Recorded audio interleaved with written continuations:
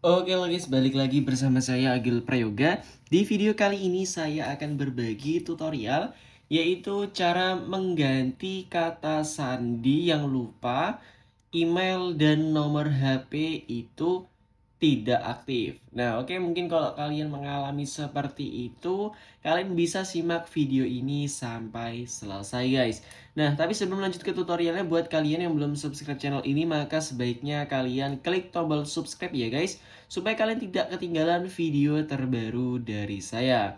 Oke, yang perlu kalian ingat di sini kalian tuh sudah login di akun yang ingin kita ganti kata sandinya. Jadi kita uh, hanya lupa kata sandi tetapi akun kita masih login ya guys ya. Akun kita masih login tapi nomor dan emailnya itu tidak aktif. Oke, kita lanjut aja langsung ke tutorialnya.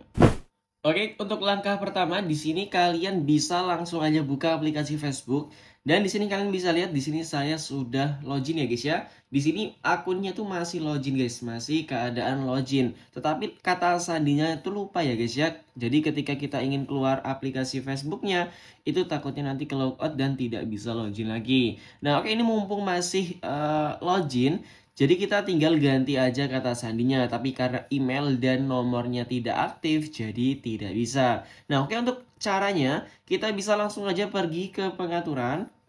Oke, kemudian setelah itu kita bisa pilih ke pusat akun. Oke, kemudian kita bisa pilih ke detail pribadi ya guys. Nah, setelah itu kita bisa klik info kontak. Nah, di sini kalian bisa lihat di sini ada nomor telepon saya yang sudah tidak aktif. Atau mungkin kalau kalian ada email juga yang tidak aktif, kalian bisa uh, lakukan aja cara ini ya guys ya. Di sini hanya karena saya itu tidak ada emailnya. Nah, tinggal kita masukkan klik tambahkan kontak yang ada di bawah. Nah, oke kemudian kita bisa pilih tambahkan email atau juga kalian tambahkan ponsel guys ya. Oke, di sini saya akan tambahkan email saja biar lebih mudah. Kemudian kita bisa centang yang ada di bawah. Kemudian tinggal kita masukkan aja email yang ingin kita kaitkan. Oke, di sini tinggal saya masukkan aja ya guys. Di sini saya akan tempelkan. Kemudian kita bisa klik aja selanjutnya. Oke, kemudian kita tinggal masukkan kode verifikasi yang dikirim melalui emailnya.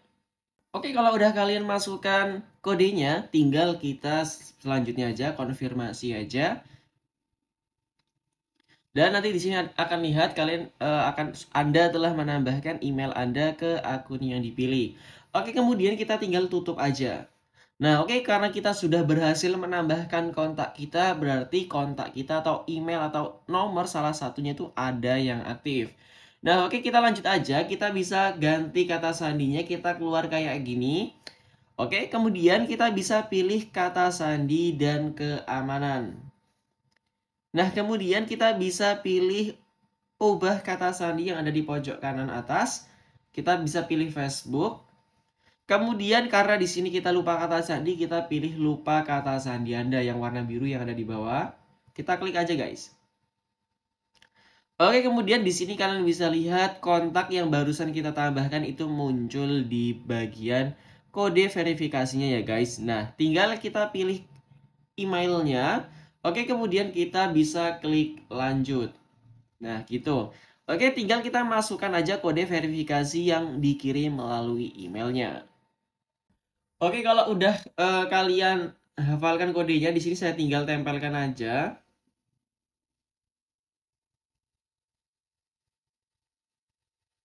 Nah, setelah kalian tempelkan, kemudian kita bisa klik lanjut kayak gini. Nah, nanti kalian akan diminta untuk memasukkan kata sandi baru, guys. Oke, tinggal kita buat kata sandi baru yang rumit ya, guys.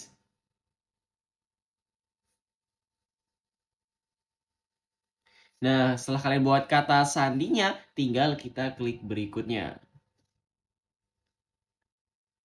Dan nanti di sini kita akan berhasil mengganti kata sandinya guys. Atau juga kalau kalian ada tulisan, biasanya ada tulisan uh, ada masalah gitu ya guys.